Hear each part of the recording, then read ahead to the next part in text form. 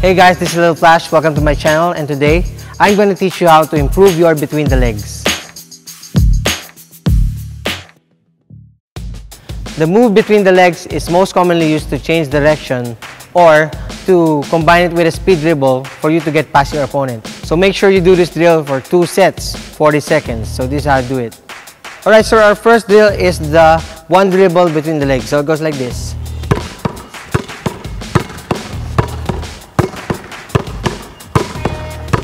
Make sure you dribble it harder. Then nice one. Okay, now we go backwards. Twist your body.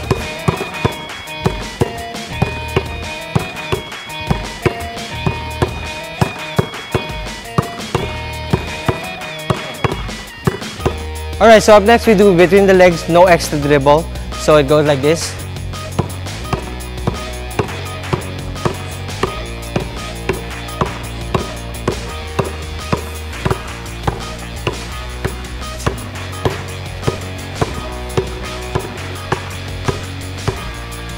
Okay, so up next, we're gonna go skipping between the legs.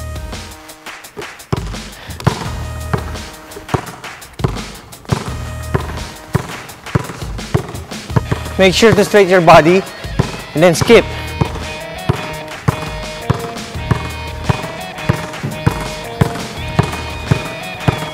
Okay, so up next, we're gonna go walking between the legs.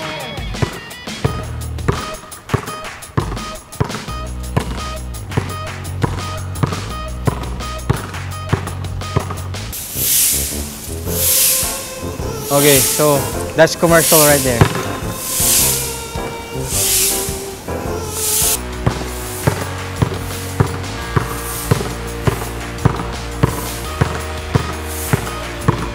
Alright, so up next, we're gonna go backwards between the legs.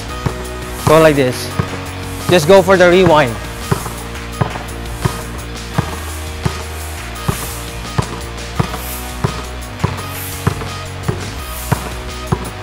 Alright, so that's it for our tutorial of the day for the between the legs. So make sure you subscribe here at my channel for more streetball action and basketball training. This Little Flash signing out.